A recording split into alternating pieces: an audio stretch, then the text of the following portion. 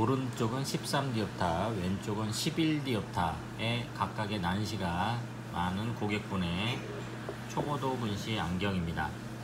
양쪽 2디옵터 이상의 시력 차이가 나고 어, 안경을 착용했을 때 코에서부터 오른쪽까지, 코에서부터 왼쪽까지의 거리도 차이가 납니다. 안경을 착용하면 불편함이 있었으나 어, 불편함이 해결되지 않았고 그래서 다른 안경원에서 마이다스 안경원을 소개받고 방문해 주셨습니다. 아, 안경을 착용했을 때 불편하고 힘든 거에 첫 번째는 근거리를 볼 때 생긴 조절의 부담감이었습니다. 기존에 사용하시던 안경에서 근시도수를 조정하여 근거리를 볼 때 조절 부담을 조금 줄여드렸습니다.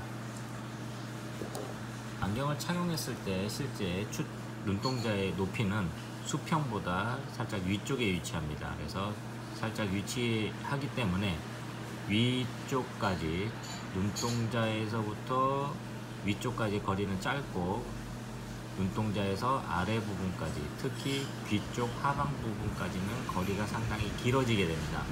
이런 이유로 안경 보시게 되면 위쪽은 두께가 상대적으로 얇습니다. 반대로 아래쪽은 두께가 상당히 두꺼운 모습을 볼 수가 있습니다.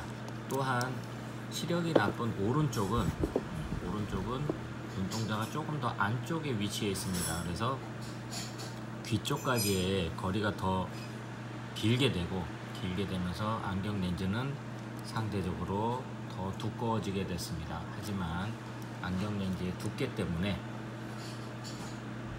초점의 위치를 이동할 수는 없습니다. 착용 습관을 고려한 정확한 초점 위치를 파악하고 안경 렌즈에 왜곡이 없도록 충분하게 가공을 하여 편안하게 착용할 수 있도록 도와드렸습니다.